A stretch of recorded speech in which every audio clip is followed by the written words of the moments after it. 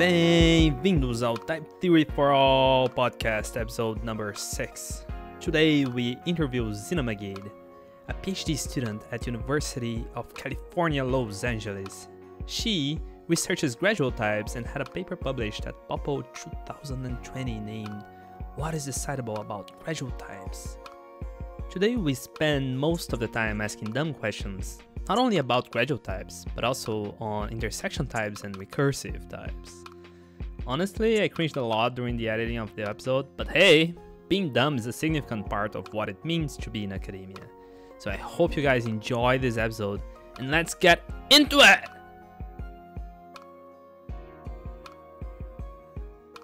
Ladies and gentlemen, welcome. Zeina Migeed. Welcome, Zeina. Thank you. did, you, did you like that introduction? It was very special just for you. I thought the other one was nicer. How did I do that last time? I don't know. It just it was more dramatic. The performance was more dramatic. Oh, but last time was Yves Bertot. Like, I mean, I have I have to to make a good thing. No, no, no. No, no, no. Now, like before we recorded. Oh, right. Yeah, yeah, yeah, yeah. I'm so new to this, this podcast thing, so I'm still still trying to get things right. You know, I think I think I found my my intro to to the guest, right? Good. Anyways, how how are you doing today? Good. Good weather. Yeah. We're opening up again in LA. Well, here it's just yeah. started raining again. It's kind of it's it it was really good up to now, but now it's raining. It's sad. Anyways. Yeah how about start talking a little bit about about yourself, Zeina? Tell us about you. Tell us how you got working on gradual types and how you got to UCLA. The gradual types thing was an accident, kind of. I was at Northeastern for my undergrad, and um, I was having an internship. So Northeastern requires you to do an internship, and it hmm. takes six months. I was doing QA. What is that? Qu- uh, quality assurance. I was doing testing. Oh, I've been there. That's great. It's really good. manual manual testing as well. Yes. So, yeah, and they required me to learn Python though. It was it was in Python. And I was th- thinking like I was just sitting there one day and I was thinking like you know how they tell you in order to attract the employer as an undergrad like when you graduate you want to attract the employer you do some projects, some extracurricular projects, so that you can show that you're having interests outside of academia. Yeah. So, you know, And I thought, you know, since I'm learning Python, what about a new project in Python? So I just Googled, you know, Python projects, and and then one of them was like pretty straightforward thinking, to be honest, and not complicated at all. So one of them i just there were a bunch and i thought oh python interpreter. I didn't really know like what it was. It just sounded cool so i just picked it and i just started coding and like i obviously didn't know what i was doing so it sounded similar to something that um right so like backtrack a bit uh, when i was doing my fundamentals course like the first course you ever take at northeastern I had Matthias Felleisen as the professor. Wow. And you know what? Well, yeah, right. He's cool. Yeah, yeah. I think he's cool. Um, and so I knew that he could help me with this. It's just um, I wasn't sure how to approach it, but I was, you know, I just I emailed him and I said I'm working on this thing. I'm kind of stuck. Do you have any recommendation on how to approach the problem? And of course, he messaged me back. Oh, like you need to go back to fundamentals one like this is not what i taught you because i was messing up i wasn't doing it correctly and eventually yeah, it's something that he would do right so, yeah yeah i can um, i can um, see that yeah so after a little bit of back and forth i just asked him you know would it be okay for you to look for look at this for for a few minutes like the actual code because it was kind of hard to communicate through the email about the code. So so you know he, he said okay, we met up and he took a look at, at it. And basically that meeting lasted for like four hours. And then it became a weekly thing where, you know, every week we'll just like work on it. And that's how I learned all the fundamentals of PL. I didn't take a PL course at this point or anything. Pretty much nothing. Um, and that's how like everything dynamic typing scoping you know evaluation like in, doing an interpreter those basic things that's how i learned and then he was like i think maybe he saw that um, it, research would be a good idea like i ha- you know i have that interest and he thought this could be a good idea. So he he has another phd student. He was working on something similar and he said that you know we can work together on something. So that was the very first paper was gradual types and it was um, reticulated python. Similar so there was a paper called obviously uh, is sound gradual typing dead? The one from Asumu that was i believe it was a pldi paper so that was a paper that measured the performance of a gradually typed language typed racket it measured the performance of like basically how it scales and what happens when you try different typed and untyped combinations. And the idea was to do something similar for reticulated Python. Uh, so so yeah, that's what we that's what we worked on, and then and obviously the UCLA thing followed. So wait, but then where you also did this undergraduate research project? Is that is that it? That was working with Matthias? Oh, I see. Yes. Okay. That was with Ben Ben Greenman. Yeah. So then you started learning about gradual types to apply it to reticulated Python. Is that correct? Yeah. Yeah, yeah. I'm just I'm just impressed honestly because like you didn't actually in your undergrad you didn't actually take an undergrad, you know like any programming languages course, but you literally just learn directly from the fountain from one of the guys who are really knowledgeable about it in our field directly, you know. That is really cool. That's impressive. Good for you. That's yeah, but but I mean after that, before I graduate, I did take a class and then but to be honest, he taught most of the things that I needed for that research. Yeah, so. yeah, that's what that's what how you learn the most, right? Yeah. Like you actually are needing the stuff that you Yeah. are learning then, which is why doing research you learn a lot more than actually taking classes because most of the time in the class you're like, I couldn't care less about what's going on over here, right? Yeah, that's true. right, right. Okay, so what's what's actually gradual types then? Tell us all about all about what's this cool cool thing All about it. Yeah. Right. Um, okay, so there there are a lot of definitions that you hear. So people uh, oftentimes use optional typing and gradual typing interchangeably, Hmm. but they're a bit different. So so if you, for example, ask Jeremy, he would probably say optional typing is when you have the possibility of either adding an annotation or removing an annotation. That's fine. Uh, and that's kind of similar to Python. Python 3.5 and above, I believe, has the ability to add annotations. But I mean, when you run the program, nothing actually happens in runtime with those annotations. So if there are some static issues, right? So if you type a function with an integer and maybe something else is typed as a boolean statically, then it can stop you. But in runtime, nothing actually happens with those. So Mhm. that's optional, optional typing. Whereas gradual typing, when you run, um, so let's say you type a function, it takes an integer. Um, gradual typing is going to generate a runtime check that ensures that in runtime, that function only takes integers. So it, it ensures that it's used correctly. So the main difference is the runtime checks. That's I why the see. performance thing comes I up. see. Yeah. Okay, so So optional typing has no runtime checks. Right, optional types has no runtime checks, but gradual types generate these runtime checks to make sure that everything is, is properly will will run properly, right?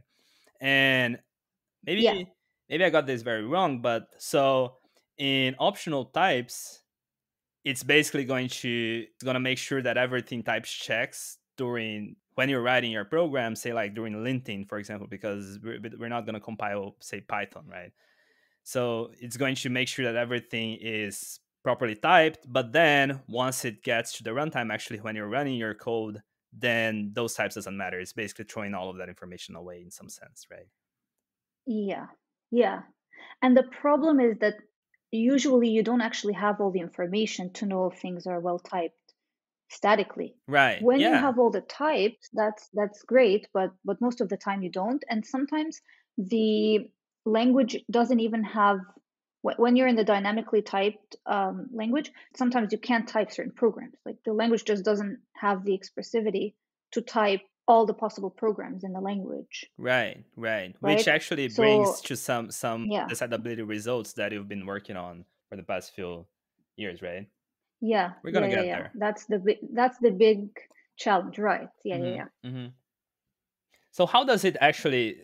How does gradual type differentiate from type inference in Haskell? Because in a sense, Haskell you also have the option to not type your program, right? Yeah. So with with gradual typing, it's supposed to be for so one of the benefits or one of the like reasons that we that gradual typing is useful is that you want to incrementally type your program. Okay. So let's say you have a large Python code base and you would like to add some type annotation. You don't want to do that at once because Mhm. sometimes the code base is too large but you want to start to incrementally add the types so that every step it still type checks um, but but there's some untyped code and that's okay it still runs Oh my god, I, I must be the most dumb person in the world because I just realized why is it gradually typed. makes so much Yeah, more sense the- now. makes so much more sense now. Thank you. yeah. That's why. It's- the amount of yeah there's so many memes now and like just my friends in the lab like the word gradual everything uh, just they make so many jokes about that now. Like what? Oh you're gonna do this gradually everything i do like oh you should do this gradually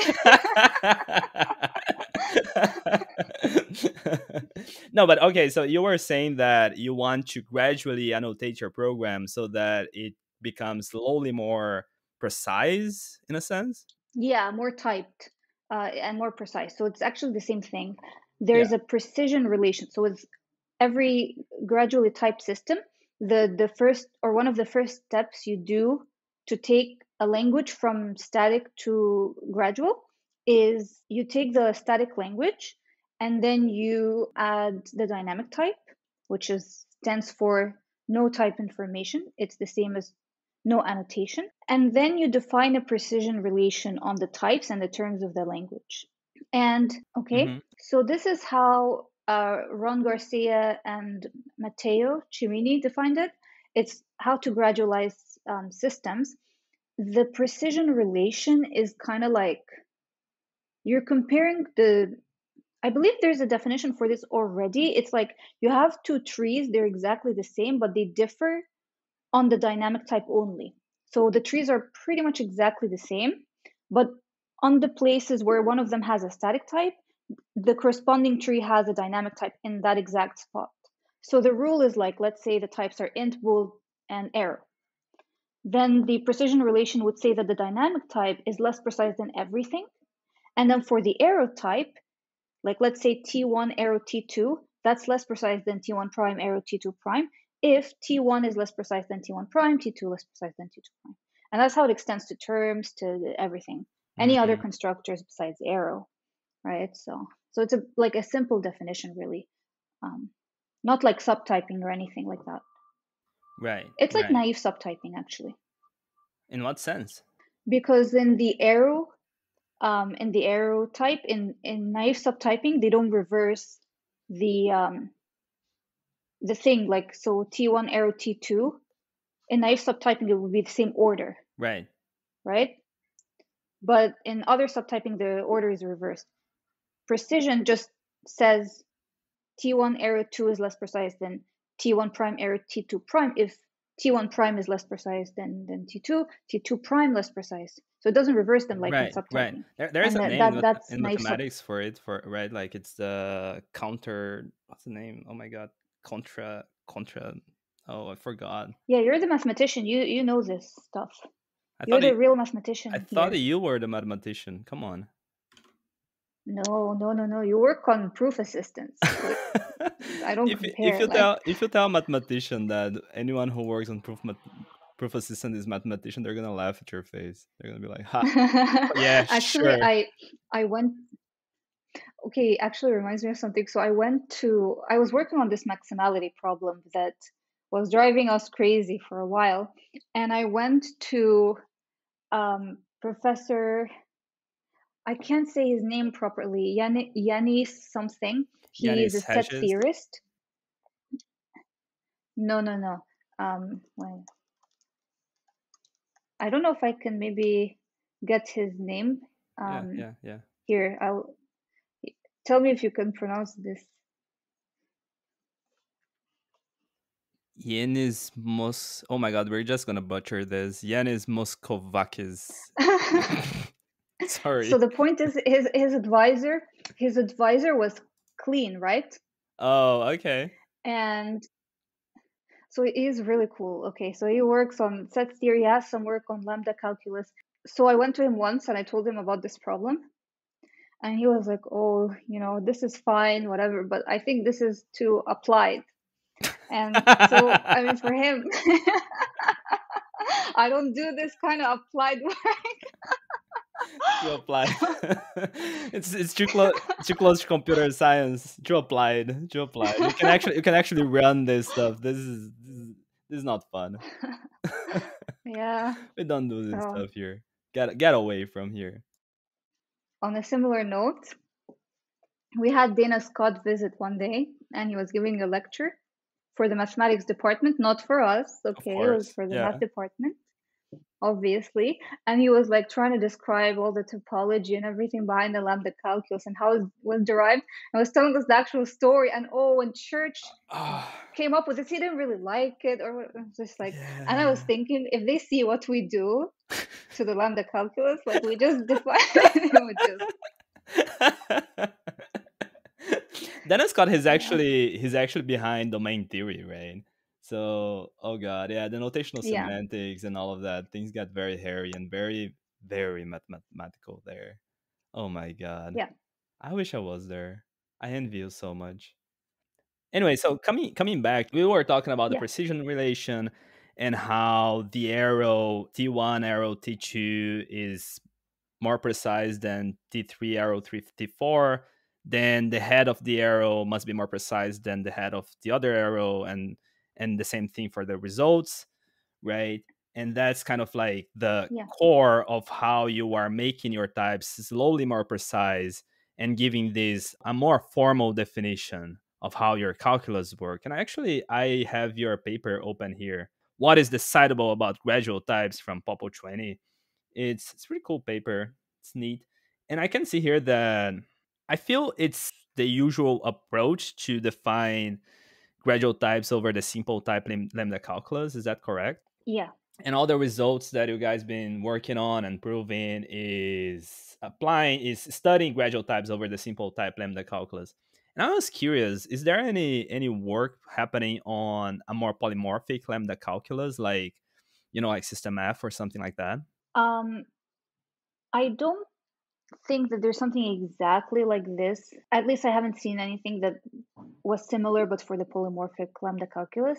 The main issue is that those things don't scale right now. So those are just decidability results. And we know that if you go for something that's a superset of this language, it's going to get only, it can only get worse, right? But we've been looking at, so we've, you know, we've thought of continuing this line of work and we've been looking at intersection types. So more to go into the set theoretic type direction.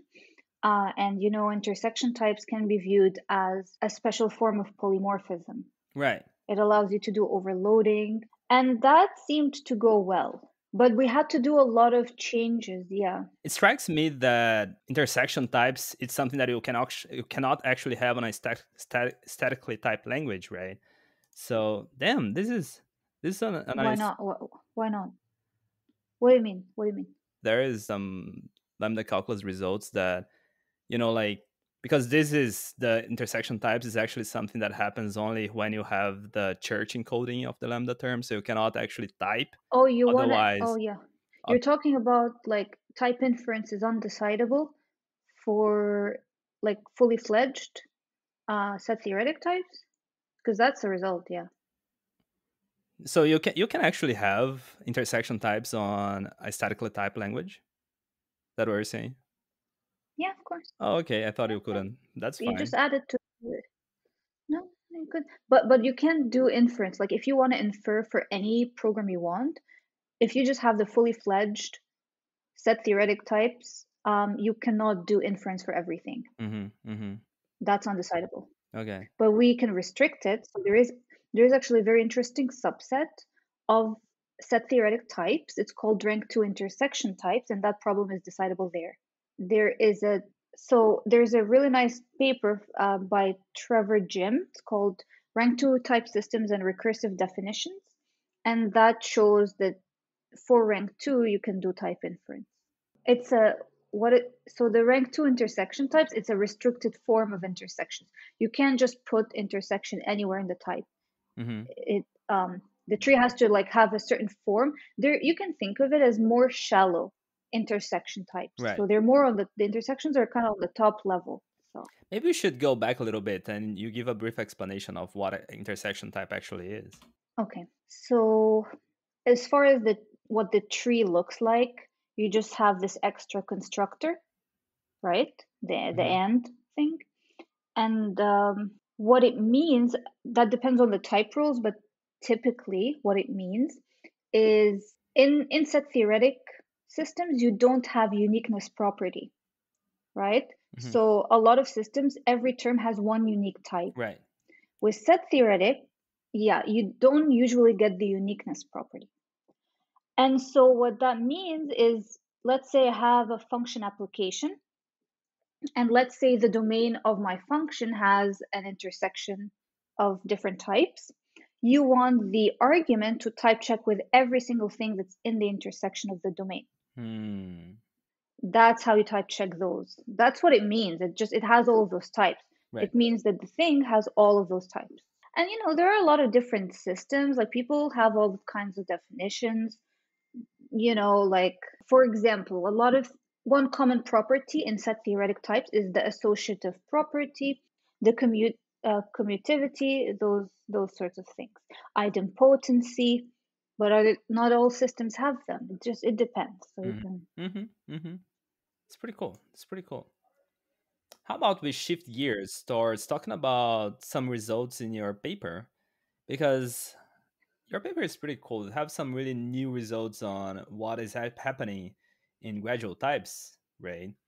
And I can see here that you could solve four problems basically, which is the singleton problem, the top choice problem, the finiteness problem, and the maximality problem. Do you want to give a brief explanation of what's happening here? Yes, uh, those are the four most important open problems in the century. So we solve them all. Bring her an award, ladies and gentlemen. I want four awards, one for each. Yeah. Anyway, so um, a lot of work on gradual types was towards gradualizing systems, measuring performance. Um, but we wanted to look at how efficient it would be to actually, because you know, when when you have this this Python program we talked about, this untyped Python program, and a programmer is trying to add some annotations, one of the main issues is that they it's just tedious. The programmer doesn't usually want to sit there and type in every single annotation for a large code base. So we wanted to know how, how feasible it would be to automate this process. And those problems are geared towards that. We want to have some level of automation, and, and these questions capture sort of how efficient it would be to, to do this automatically. And also, we want to know if this is even possible. So, those four problems. So, for example, one of them uh, is the finiteness problem, and it tells you whether you're dealing with infinitely many possibilities for making your program more static or are the possibilities finite Hmm, right Right. one one other uh, decidability problem was the top choice or actually let me tell you about the singleton. So the singleton says is this program as static as possible or not? Mhm. or could we make it better? That problem is easy. You can do this in polynomial time but that's what the problem is asking. Is this the most precise i can make my program? And then again the finiteness tells you if there are infinitely many possibilities for making the program more static or not. And then top choice is just a combination of those two things. It says, is there a program that is precise than everything else in the space? So all the other different possibilities, is there this like one thing that is better than everything already that's here? So you can think of it as like a tree and then like like a lattice. You can think of it as there's a dot here which is the program and it goes like this and then it converges to one point. Like a diamond. Yeah like a diamond. Um that would be a top choice. Right right it can go to different to different choices but then it comes together in one single choice at the end right? Right. Um and then the last one and that's the hardest problem so far and that's the maximality problem and it says does this program have a migration or like some annotations? Can i annotate it in a way such that it does not have any more improvement? That's maximum migration how does it how is it different from top, top choice uh, maximal migration does not converge to a di- it's not a diamond the lattice mm-hmm. may not be a diamond it can be so you start with a program and then you're just looking for this one point that doesn't have anything better. I see. I see. But then you can have all of those paths. You can have like infinite paths in between, but you just want to right. reach this one finite path. Right. Right. So basically you want to do some sort like if you if you do some um naive search as in if you do depth first search here, then you can get on an infinite branch and then you're screwed, right? So you want to do some a breadth first search here. Yes. Right you do a breadth first search for a semi algorithm. You don't even get an algorithm for Why that. Not? You do because all paths could be infinite. Oh right, right. Of course. We huh. don't know. We we don't actually know. Yeah, we don't know if one path is fine. We we can say that the whole space is infinite, but that could be because of one path. We don't know a way to say is that individual branch finite or not. That's that's why that you know so it's, it's an NP hard one. problem and we right. don't know. I can like tell you maybe a little bit about how the lattice works. It's pretty simple, but that's the idea. Mm-hmm. Yeah, we don't know about individual paths, so.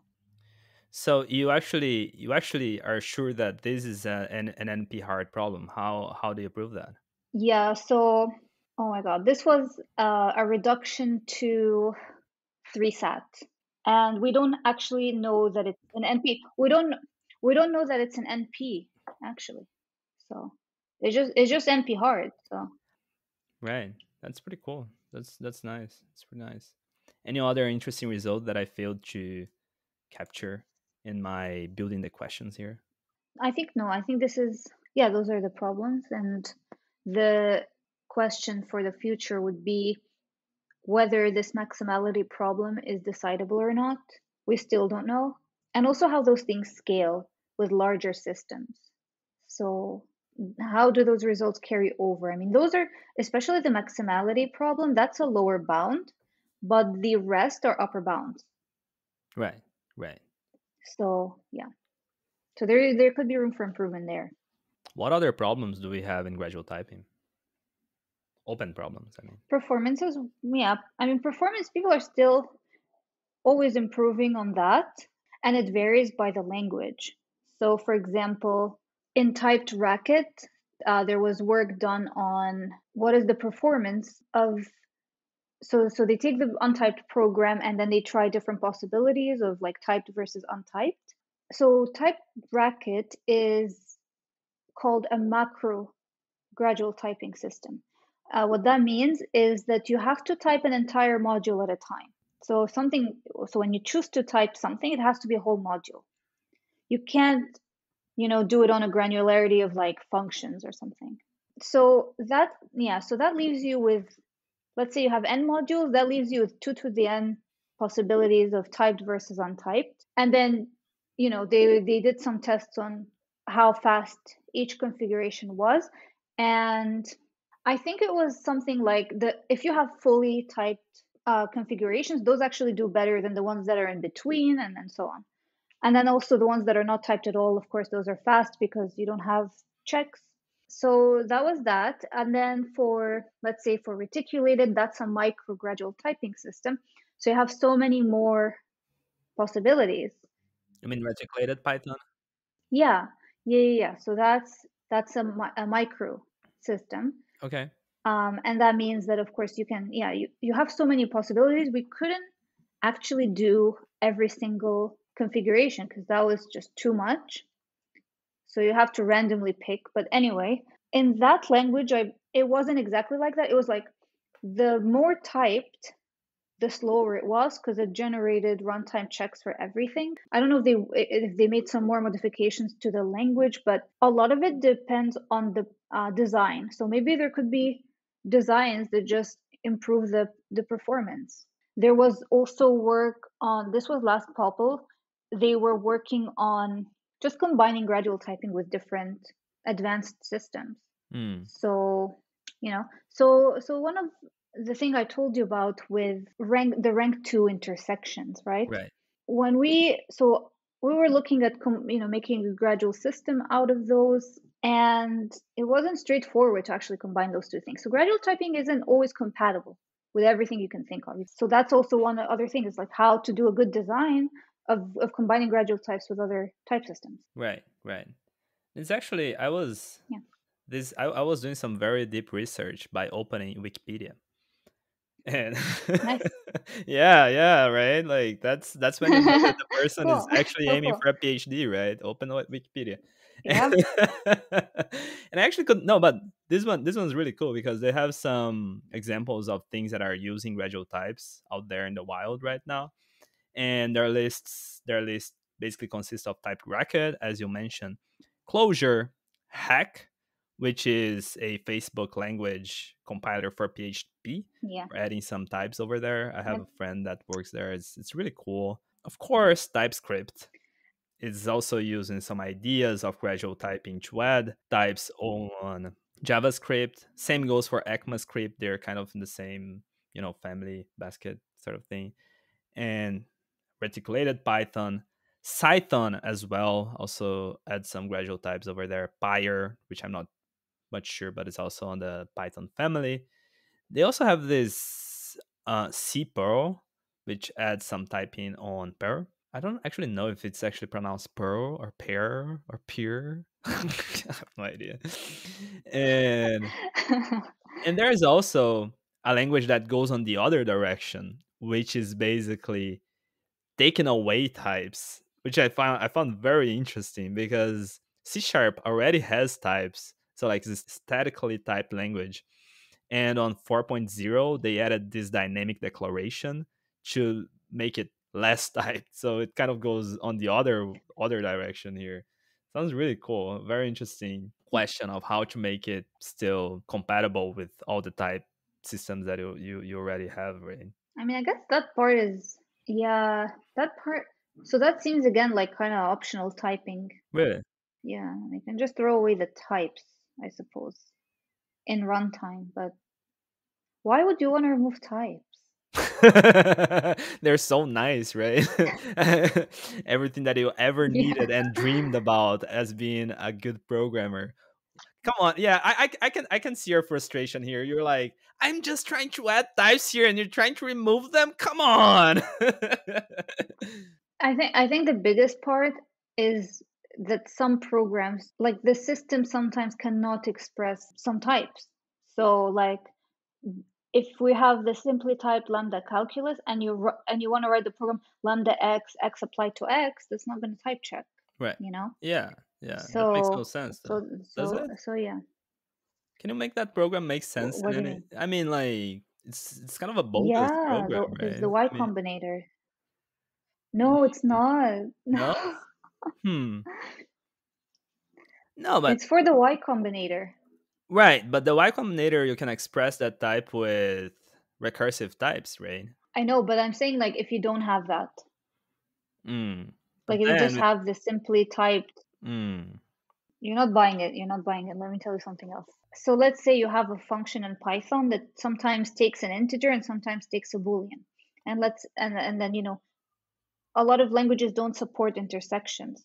Let's say like this calculus, you know, it doesn't support the simply typed lambda calculus doesn't support intersections. Oh yeah. So so if you have dynamic typing, you can still write the program, but you know, you don't have to type check it, for example. You can give it the dynamic type. Mm, hmm. I see I see what you're getting. You're saying that in order in order to express some types you have some you might have to change the syntax of your language it's not only about the types itself the types and the the syntax they kind of go hand in hand in a sense yeah it makes sense No, no, wait, wait, wait. What I what I mean is like if you want a, a fully static language, you're limited to to only the programs that the types can express, you know? But if if you want to write a program and you don't have the type for it, it just wouldn't type check. oh okay uh, i I, def- I definitely understand what you're getting at what i'm saying is that okay let's say now that i actually wanna i want i want to type check this program that is happening here and we have we have some model Yeah. of types on how to type check this. We, we don't we don't even need to go all the way to intersection types. We could use some types, for example. But now, in order for me to to be able to use Yeah. some types, I have to change the syntax of the language, which is not something you want. That was kind of my backwards reasoning, you know. Yeah. The syntax, yeah, you have to change the syntax and the type checker Yeah, like yeah, yeah, you have to make a lot. Yeah, yeah, yeah, yeah. yeah. yeah. So, like, if if your syntax is actually fixed, then and then you're you're you're adding types on top of that, you know, like gradually adding types on top of that, then kind of it seems kind of necessarily kind of necessarily you know like there are some programs that you, we're not going to be able to type because hmm, yeah i see what you're getting at. Yes, yes, that's right. Yeah. I mean it's not it's not necessarily necessarily because if you're if you're smart enough on how to build the language then or even not. Anyways i would have to think more about it. That's pretty cool. Makes makes a lot of sense. Gradual types are nice. I'm out of questions to be honest I think this is good. We have we Yeah, you're you're feel good about about it, about what we have so far. Nothing else to add. yeah. No, I think we're I mean this is a good like overview and everything. You know, it's, it's good high levels, I yeah, think. yeah, yeah. I So, agree. I yeah. agree. Well, Okay, Okay, stop then. again. Hmm? say the say the exit phrase. Is there an exit phrase or did you just yeah, just like cut you in the middle of your sentence, you know, like like the middle of the explanation. So intersections, I, I cut you off. Yes, guys, that was it. That was a great episode.